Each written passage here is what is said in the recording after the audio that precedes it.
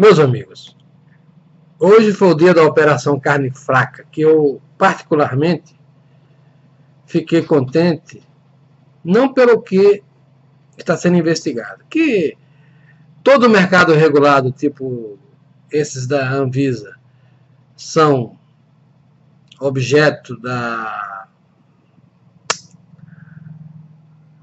da ganância dos funcionários públicos que cuidam disso, a gente já sabe.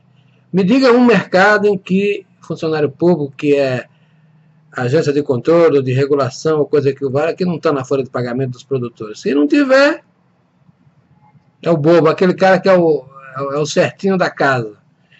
É, toda a gente sabia que essa gente da Anvisa já vinha mamando há muito tempo, não só nesse mercado, mas em outros também. Agora, é importante colocar a lupa sobre esse mercado de carne, especialmente a carne vermelha, né? que nós tivemos aí um processo de oligopolização brutal. Esse é o escândalo. O escândalo é que o BNDES, sob o patrocínio do Lula e do PT, acabou com o mercado que era essencialmente concorrencial, era, era o arrimo de muitas famílias no Brasil, por aí, que era a cadeia produtora de carnes, e essa oligopolização destruiu. E a consequência imediata que eu vi acontecer, eu acompanhei durante um certo tempo, foi o aumento do preço da carne ao consumidor, de um lado, e uma redução da remuneração do produtor do outro. E, e, os espertalhões amigos do PT no meio ganharam os tubos. Era essa, essa coisa aí de, de que a, técnicos da Anvisa davam selo de, de qualidade para carne de procedência duvidosa ou de qualidade duvidosa é uma coisa escandalosa. Isso acaba com a imagem internacional do Brasil nesse mercado. É especialmente danoso isso aí.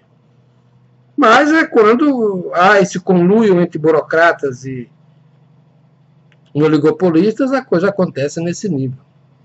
É preciso uma mão firme nesse processo. Mas, se não houver desregulação, vai pegar meia dúzia de fiscais aí que estavam completados, ou meia dúzia de empresários que pagaram propina, e acabou. E os negócios vão continuar.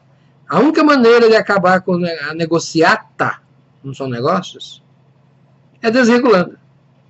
Sabe? Vocês não devem se lembrar, não, mas aqui quando eu, eu cheguei em São Paulo, a gente morava num bairro, tinha um largo, que tinha lá um, uma quitanda, uma granja onde vendia aves, tinha um açougue e a padaria. Hoje acabou essa brincadeira.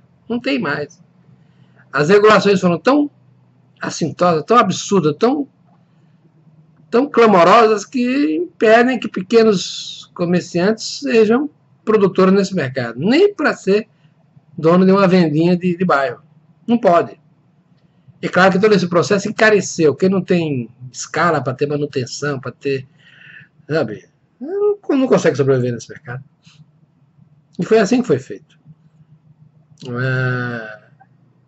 Mas antes está do que nunca. Né? Eu acho que esse pode ser um, um fio da meada para chegar nos grandes negócios que foram aqueles que patrocinaram a oligopolização. Eu quero ver se se a justiça, se o Ministério Público tem fôlego para chegar tão longe, porque isso aí talvez seja tão ou mais profundo do que o petrolão, tão mais profundo do que o mensalão. É todo um modo de proceder, de conluio entre o poder público e os oligopólios que está em jogo. Esse mercado é emblemático.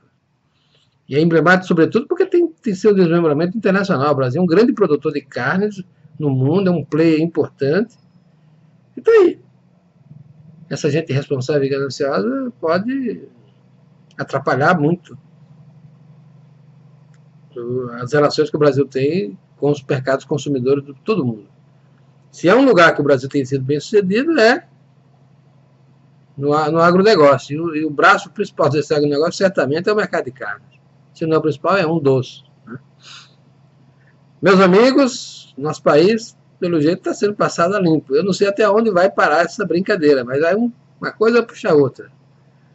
Mas isso precisava, é preciso dar um basta. É preciso que a classe política se conscientize que é preciso desregular, desregulamentar. Quanto mais poder for colocado na mão de burocratas, mais o mercado vai sofrer, mais as oportunidades de corrupção aumentam, multiplicam.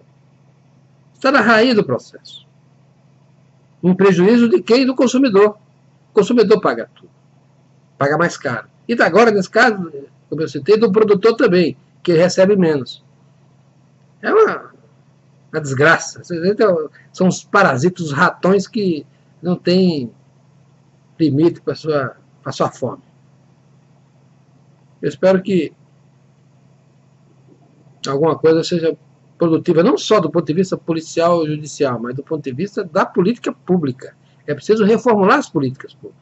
É preciso fazer mais ou menos como Donald Trump está fazendo nos Estados Unidos, desregular, acabar com a brincadeira de deixar o poder na mão dos burocratas que ficam mandando nos mercados. Não pode ser assim. Não pode ser assim. Há um papel para o poder público e além desse papel, qualquer coisa é exorbitância. E hoje a gente sabe que exorbitam. Tudo é regulado. Tudo, tudo, tudo. Né? Mas, meus amigos, temos que ver com muita simpatia uma investigação dessa. Eu acho que vai dar bons frutos. Vamos esperar.